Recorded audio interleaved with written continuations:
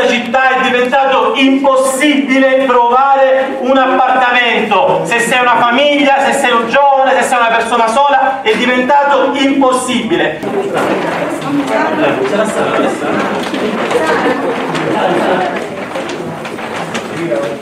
Siamo alle porte di un giubileo che sta determinando che, so, che ci vogliono 800-900 euro per una, stanza, per una stanza in affitto. Tutto ciò è allucinante, è inaccettabile. Ecco, serve una regolamentazione vera del fenomeno del BNB perché sta strangolando la città e cacciando le persone dai quartieri per spedirle fuori dalla nostra città affinché si possa costruire una rivendicazione da parte nostra rispetto al diritto all'abitare. Sono migliaia in questo momento le persone che hanno difficoltà a trovare una casa, precari affitti di lungo periodo. In questa città chi lavora non può più permettersi una stanza, non può più permettersi un affitto regolare. Il mercato immobiliare di fatto non ha più case in affitto di lungo periodo, le uniche abitazioni che si trovano sono quelle eh, per gli affitti brevi. Tra l'altro questo sta generando ovviamente che quelle poche case in affitto hanno dei prezzi spropositati, siamo ormai tranquillamente degli 800-900 euro per una singola in quartieri anche semiperiferici o anche periferici, quindi la situazione è estremamente allarmante per tanti giovani, per tante famiglie eh, che, che, vogliono vivere, diciamo che hanno bisogno di una casa per vivere a Roma, che sono di fatto eh, cacciati via dalla città. Ecco, questo è il grande problema che oggi abbiamo voluto segnalare con questa azione alla sede di Booking Italia. Io sono stato avvisato dai miei proprietari dell'abitazione in cui sono attualmente ai primi di settembre quindi in concomitanza con la scadenza del contratto che non avrebbero voluto rinnovare il contratto in quanto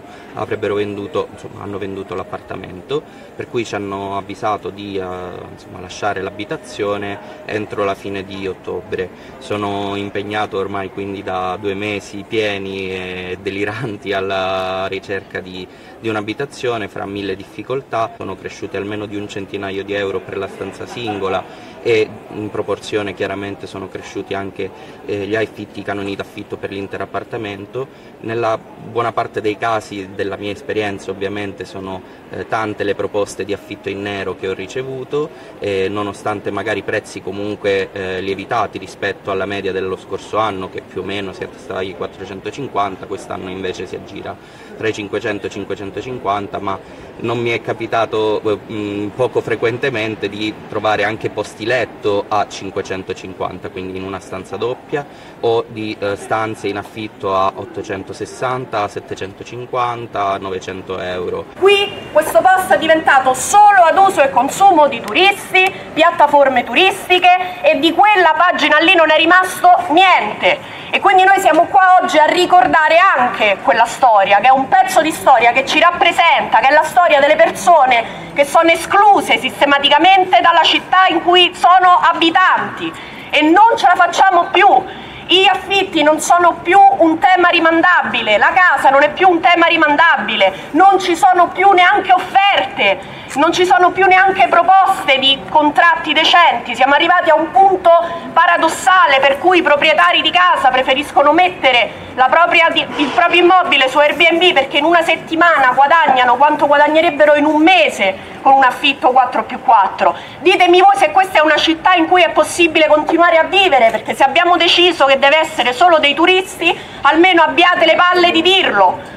e quindi noi siamo qui oggi simbolicamente in una delle sedi di una di queste piattaforme a dire che basta, non è più rimandabile, il giubileo non può essere una scusa per fare speculazione sulla pelle degli ultimi. Il Comune dice di non avere nessuno strumento uh, per mettere in campo uh, diciamo, delle azioni che frenano questa cosa, secondo noi no, non è così, tra l'altro si può intervenire anche nell'ambito del piano regolatore. Aggiungo pure che c'è un piano casa che sta facendo ormai come dire, eh, la polvere nei cassetti al Campidoglio che non è attuato, che prevederebbe la possibilità di costruire un'agenzia per la casa, di avere un contributo affitto in maniera tale da provare a limitare gli effetti devastanti del processo eh, di airbnbizzazione della città, almeno per proteggere tutte quelle famiglie, tutte quelle persone che stanno rischiando lo sfratto eh, perché non sanno più come pagare gli affitti, gli affitti che, che sono diventati insormontabili.